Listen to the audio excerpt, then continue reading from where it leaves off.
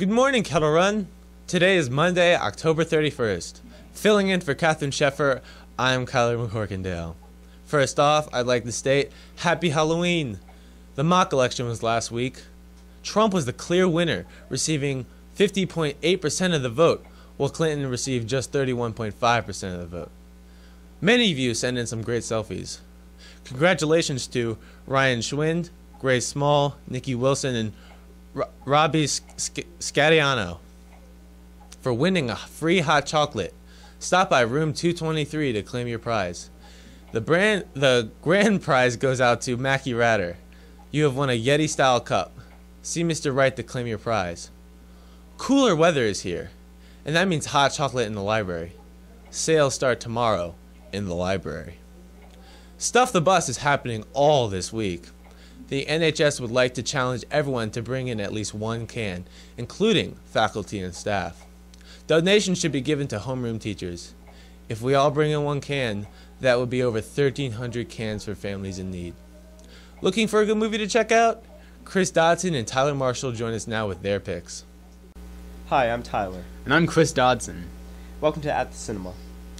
Tyler, what are we going to be talking about today? We're going to be talking about the new Logan trailer. It just revealed last week on YouTube, and I'm very excited for it because it is the final Wolverine film, but it also has an R rating.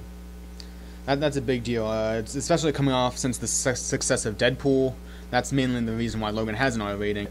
I'm actually really excited that they're finally going to be able to explore the violence of the Wolverine's character and his inner psyche. And uh, it was just a great trailer. Had great music in it too. Don't even. You want Oh, the Johnny Cash Yeah, they- song. they used Johnny made Cash. the trailer. Like that trailer would not have been anywhere near as impactful as it was without Johnny Cash's hurt. I agree. So, wh- what are your predictions for this movie? Like, what do you think? My predictions is is that based on the trailer, at the end, at the end of the trailer, it actually shows Logan holding a shovel, and it looks like he's just been through battle. And honestly, he's holding a shovel, and he's looking down, almost as, almost as if he's mourning. And Xavier isn't there, so I assume that Xavier dies. That's that's the main theory that's going around. I've seen it on Reddit and other places. Well, he's probably Xa- Professor Xavier's going to die. This is, I mean, Patrick Stewart. He's been doing it since the year 2000, along with Hugh Jackman, and they're both retiring. That's what I'm assuming that's going to happen in the end of the movie. They're both going to be retiring from their characters, and that's to be that. yeah, I really hope that Logan dies at the end of this because it would make a very good ending to the Wolverine trilogy.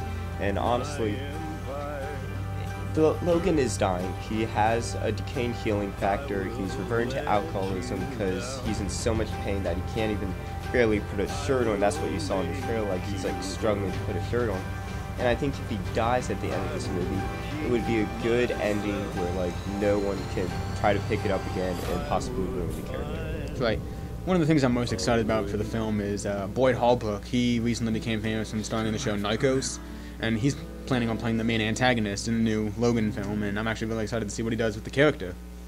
And that's one thing I really was hoping for when Hugh Jackman on Instagram started posting these like little teaser photos of the new Logan movie. I was really just wanting wanting a trailer, but more than anything, I really wanted a drama. I did not want a sci-fi film that like the others.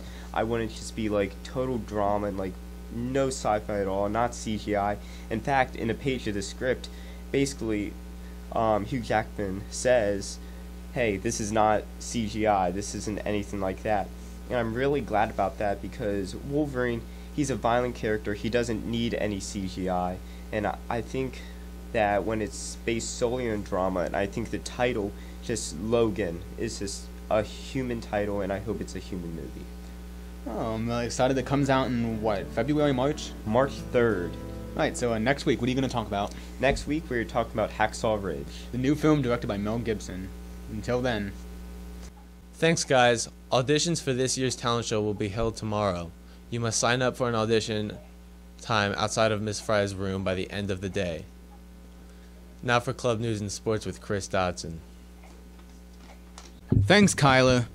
Lori Cassio, Regional Coordinator of Student for Life Association, will be coming tomorrow morning with an information table set up in the Commons area. She will return to school at 2.45 for discussion in room 209. All students are welcome. What does this week's weather look like? Brad Jeffers joins us now with details.